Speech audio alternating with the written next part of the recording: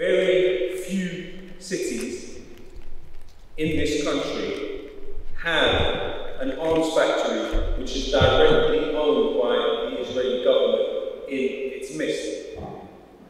Pearson Engineering is a subsidiary of Rafael, which is an Israeli state-owned arms company. And it has encroached upon your community and made a home for itself here. But there has been a prototype of how to break that relationship, and the prototype was given in Oldham, where Ferranti Technologies, subsidiary of Elbit Systems, was located. Elbit purchased this Oldham-based company for around 12 million pounds. What followed, though, was the mobilization of not only the community, but Palestine Action within the factory, shutting it down regularly. Local people in the community of Oldham mobilized outside the factory. They went door to door in the community around the factory, bringing flyers explaining what was being done in that factory. They set up um, a stall in the town centre telling people what was happening in that factory. And eventually, what we built for the company was an impossible equation because the equation was local stigmatization, a reluctance of people to come and work in it, people feeling ashamed of working there, an increase in security costs, pressure from the police to try and sort out their reputational problem, which was causing the disorder. And ultimately, Elbit Systems, Israel's largest arms company, sold Ferranti Technologies for nine million pounds. It sold this subsidiary at a loss.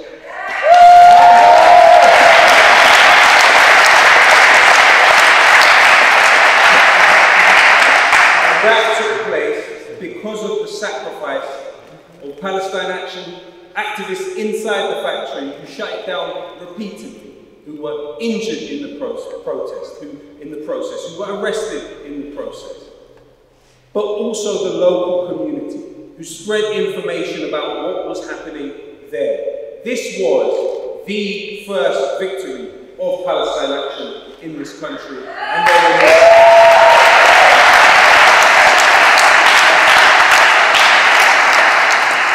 ultimately what we are trying to achieve is to bridge the gap between what happens on the popular community level and what happens on the corporate and political level. Meaning that when Israel engaged with Ma'arakat Saif al-Quds in 2021, entered battle with Gaza at that time against the Jihad al-Islami, and killed many people and Hamas at that time. What took place in this country? For six consecutive days, the Elbit Systems factory in Leicester was shut down. Yes. And what happened? The police turned to the fire brigade and said, please take those people off the roof of that factory. The fire brigade turned round to the police and said, no, we are with you.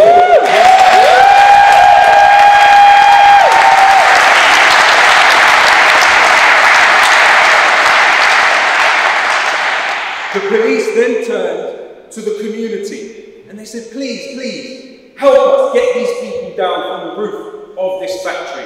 Do you know what the community said to the police? No, we are with them.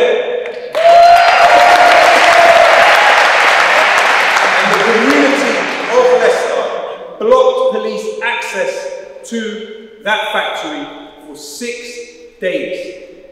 This was all part of the process of rendering inoperable the infrastructure of war, of genocide, of ethnic cleansing. And these are rich lessons which we must learn from in order to apply again. Because you see, my friends, we have now entered the phase of imperial Israel.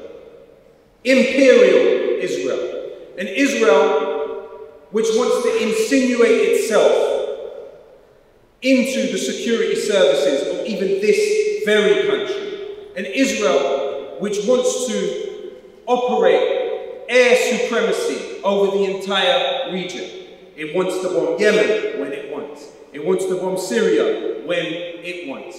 This is imperial Israel. What Israel has is fantastical and maximalist plans for the region. It wants to achieve generational cultural change. It wants to remove any organizations which have any form of preventative force. It wants to remove any organization that relate in a straight line to the Palestinians what it wants to do, with the help of Saudi Arabia and the UAE, is create client state institutions, client organizations. So a new condition of funding from Saudi Arabia and the UAE will be don't touch Palestine.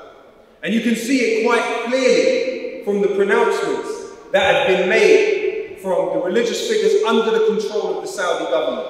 Not one of them, not one of them has touched Palestine. Not one of them has encouraged people to come to the aid of the Palestine, of the Palestinians. And that is under direct instructions from their paymasters in the Saudi government and in lesser cases in the UAE government. They are to serve as protectors of the Zionist project in the region. What Israel envision, envisions is that the UAE and Saudi Arabia will help to control Gaza. But if anyone knows anything about the history of Majanin Gaza, they know that is an impossibility. Israel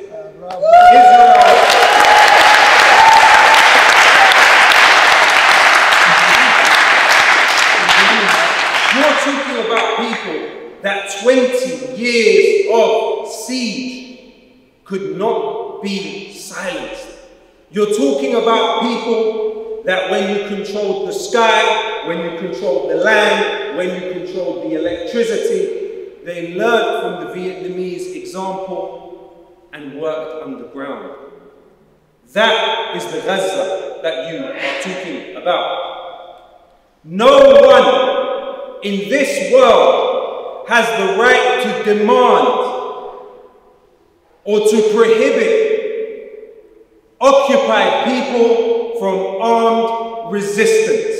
It is their human and their divine right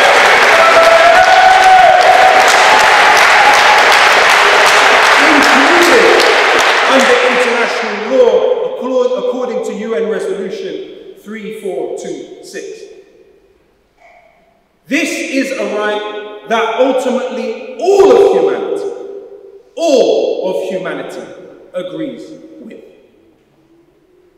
If Israel is to attack civilian locations across Lebanon, to vaporize civilians with bunker buster bombs, you have absolutely no right to say that the greater evil is those who resist that process.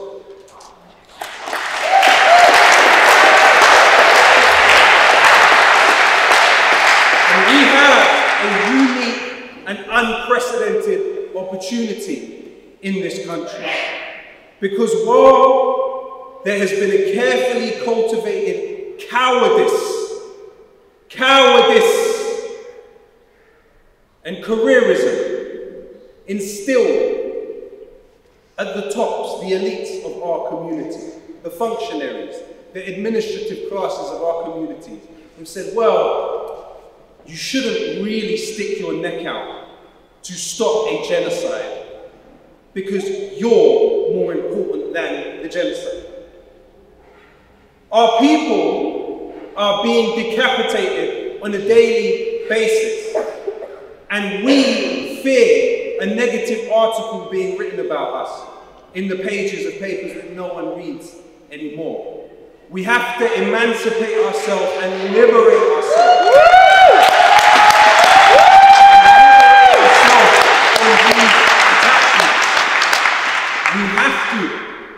arrive at a state of acceptance and tranquility with all eventualities.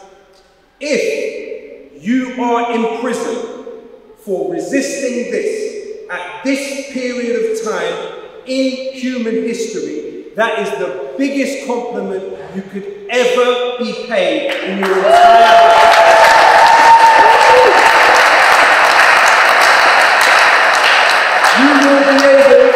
To face your children and your grandchildren, and they say, How did this happen on your watch? And you say, Well, this is what I did to stop it. This is what I did to stop it. And Palestine Action has, relatively speaking, achieved miracles in this country. The next victory following Oldham was the closing, the closing of Elbit Systems head office in London, in Holborn, in the constituency of the most pro-Israel leader the Labour Party has ever had, Keir Starmer. Shame! That office was a place where Elbit organised and arranged its operations in this country. But consistent, relentless action led to the office being shut down permanently. The next victory of Palestine Action, which of course we are not told about in the mainstream media because they do not want this to serve as a prototype going forward, as Israel's genocidal imperialism, imperialism expands across the Middle East. The next victory was the British Ministry of Defence in this country cancelling 280 million pounds worth of contracts with Elbit Systems. Why? Because, because there was a problem with what they call operational sovereignty. Now this is a fascinating question. It implies that there were those within the British Ministry of Defence that understood giving Israel access to Britain's nuclear arrangements was one of the contracts, amazing, nuclear submarine, posed some form of threat to Britain's sovereignty. Now, this is a creative space which we must constantly press against and bring into question. The next victory that, our, that uh, Palestine Action achieved was the Elbit Systems subsidiary of Elite KL, which used to make the cooling units for the Merkava tanks, which some of you may have seen on the internet not doing so well, looking a little worse for wear. Those tanks contained cooling units manufactured in this country. Elite KL, following continuous targeting by Palestine Action, was sold again at a loss by Elbit Systems. And what took place after that was in the very same factory, the cooling units today are produced for London transport and for the buses there. This is another clear victory. So we have a model of activity. And not everyone needs to risk jail to support this activity, to support this model. But frankly, it is the only model that has been proven in this country materially successful. It is the only one that has incurred any losses or even inconvenience to Zionist operations here. You see, Israel perceives these bases and these sites as signs of strength. But what we have to understand these as are vulnerabilities and pressure points within the body. There are some pressure points that when you apply a small amount of force to them, they respond like an open door. As Israel has escalated to a level we never before thought possible, it is vital we enter a new stage of seriousness with the way that we deal with what we are facing. Unfortunately, through the last half decade, within the Labour Party, there has been an instinctive deference paid to Israel lobby groups, as if they are representative of any genuine, genuine uh, feeling within the community. They are not. These Israel lobby groups, which help to assassinate the idea of Corbynism, which help to assassinate the idea of political change through the political system, have made clear who they are and who they serve. We have piles of documents and evidence to back the assertion that these are direct proxies of the Israeli government. We have to work very clearly unapologetically to be real allies to the Palestinians, the Lebanese, and the people of the region. Israel is under the delusional notion, the delusional notion that winning war is murdering the most vulnerable, is killing them on an industrial scale. But what they do not understand is when they attempted to wipe Palestine off the map, they rendered the rest of the world Palestine.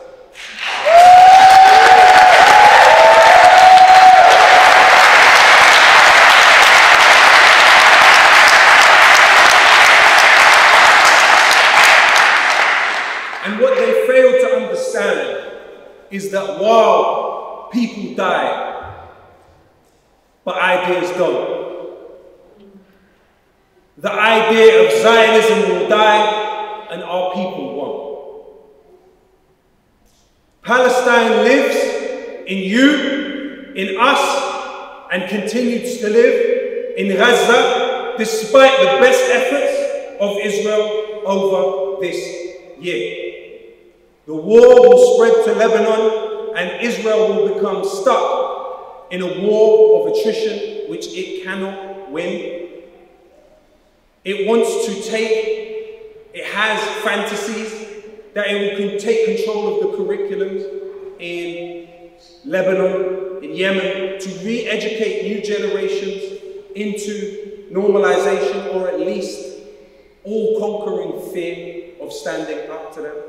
But you see, the lesson of the history is that whenever you have attempted to decapitate a political movement, not only have new leaders rise, but the form of resistance has intensified. When Israel killed it, when uh, the British in 1935 killed Izz Qassam, the plan was that this would marginalize Palestinian resistance. But what took place then is you had nine months, the largest strike in recorded human history carried out by the Palestinians against the British authorities and the nascent Zionist movement. And today it's at the point where the very people that Israel are fighting are named after the individual killed in 1935. You do not kill movements by decapitating their leaders and by killing individuals. The same process has played out across all of the factions. So ultimately, do not be disheartened. Your objectives are realistic, their objectives are impossible. What they want to achieve is an erasure of a total group of people. Almost a million Palestinians were expelled in 1948 in the Nakba. At the time that that happened, the Palestinian population was a few million. Today, the Palestinian population worldwide is 12.5 million people. Israel failed then, it's failing today, and it will fail ultimately. My invitation to you is to become a direct participant in the foiling of that plan.